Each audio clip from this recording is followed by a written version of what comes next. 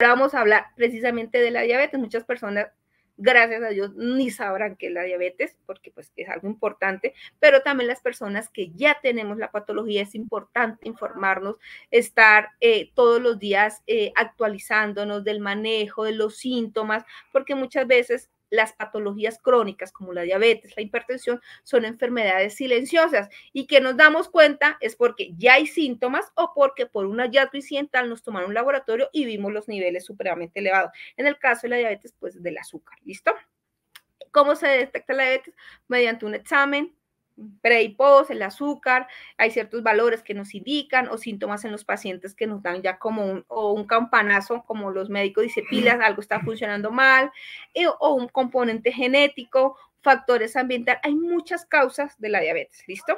Entonces, ¿qué es la diabetes? A términos para que todos hablemos un mismo idioma.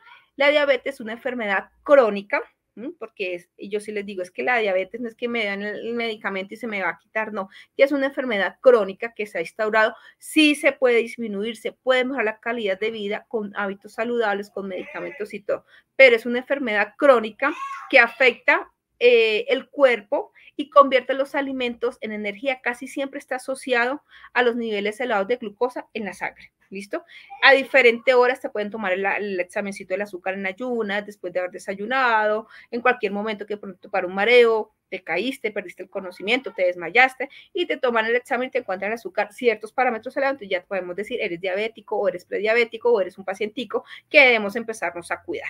Hay dos tipos de diabetes, la tipo 1, que es una enfermedad autoinmune, y la tipo 2, que está totalmente relacionada a la resistencia a la insulina. ¿Listo? Y bueno, ya sabiendo cuál es la diabetes, ¿qué complicaciones nos puede traer? ¿Listo? Que ahí es donde viene la conexión de nosotros como Sociedad Colombiana de Apiterapia en los pacientes diabéticos. Problemas cardiovasculares, la neuropatía diabética. Casi siempre la mayoría de nuestros pacientes que van al consultorio van por problemas de dolor. ¿Y qué genera? La diabetes como tal no genera dolor, ¿no? Lo que genera dolor es los efectos secundarios de la neuropatía diabética. Entonces, estos pacienticos consultan muy frecuentemente, eh, precisamente es por dolor, por inflamación, por limitación funcional y es precisamente por la neuropatía diabética. ¿Listo? También aquellos pacienticos que tienen una cicatrización deficiente en heridas, también les hace muy bien la, todo el proceso de apiterapia.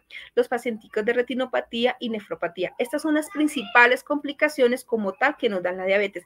Y es ahí donde se hace la conexión por qué van los pacientes diabéticos a nuestra consulta. Nosotros no es que tratemos una diabetes con apiterapia es importante tener en cuenta.